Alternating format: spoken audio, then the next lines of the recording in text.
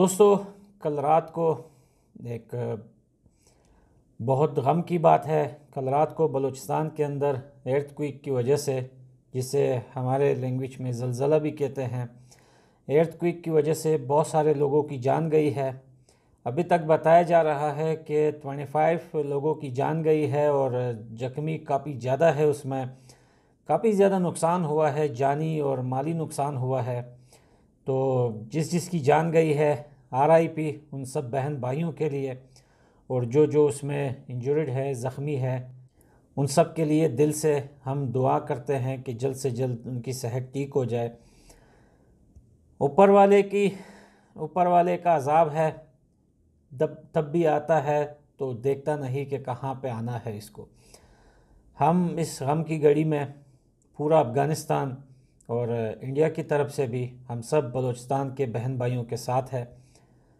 जिनके साथ कल रात को ये वाक़ हुआ है, कल को हमारे साथ भी हो सकता है, किसी के साथ भी हो सकता है तो हम इस गम की घड़ी में अपनी बहन भाइयों के साथ खड़े हुए हैं और हम हमेशा बलूचिस्तान के बहन भाइयों के साथ खड़े हैं और हमेशा खड़े रहेंगे। हमारा, हमारे बहन है, हमारे भाई हैं वो, हमारे अपने हैं वो, हम अपने को कभी भूल नहीं सकते और बहुत सारे बलोच, बलूचिस्तान के जो बहन भाई हैं अक्सर मुझसे सवाल करते थे कि, पठान भाई, आप हमें भी याद किया करें वीडियोस में। तो आज अच्छा मौका है हमारी तरफ़ से आप लोगों के लिए काफ़ी ज़्यादा प्यार, बहुत सारा प्यार आप लोगों के लिए।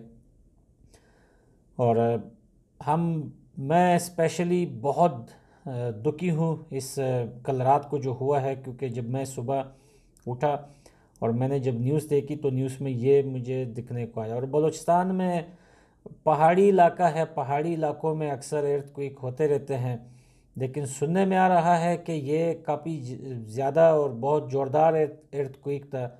और फिर हुआ भी ऐसे टाइम पे था कि लोग जो थे वो रात का टाइम था, ज़ाहिर बात है, सब घर पे होते हैं और या बच्चे सो रहे होते हैं। तो बच्चे सो रहे थे या फिर बड़े भी साथ में सो रहे थे, काफ़ी लेट हुआ है ये। तो हम उनके साथ हैं, अपने बहन भाइयों के साथ हैं, हम आपको कभी नहीं भूले। जैसे आप लोग हमें नहीं भूले, वैसे हम लोग आपको नहीं भूलते और हमेशा आप लोग हमारे दिल में रहोगे और हमारी तरफ़ से बहुत सारी दुआएँ बलूचिस्तान के लिए और स्पेशली अपने फैंस अपने सब्सक्राइबर अपने दोस्त, अपने बहन भाइयों से अपील करता हूँ कि बलूचिस्तान के लिए दुआ करें। जितना हो सके बलूचिस्तान के लोगों के साथ हेल्प करें, क्योंकि ये गम की घड़ी कभी भी किसी पे भी आ सकती है और हमें पता है कि एर्थ क्विक एक, ऐसा वाक़ है कि जिससे अगर ज़ोरदार हो तो बचना बहुत, जिसका टाइम पूरा होता है, उसका तो बहुत ही बचना नामुमकिन होता है, लेकिन जान जाने से ज़्यादा एर्थक्विक के दौरान जो डर लगता है इंसान को, वो दिल दिला देने वाला होता है।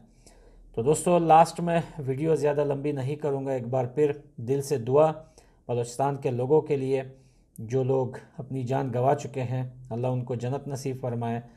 जो शहीद हुए हैं, जो लोग उसमें ज़ख्मी हैं, उनको जल्द से जल्द अच्छी सेहत मिले।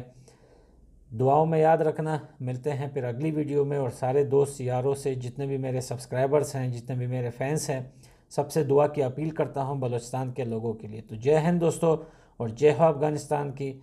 और एक आज़ाद बलूचिस्तान इन बहुत जल्द बनेगा। बाय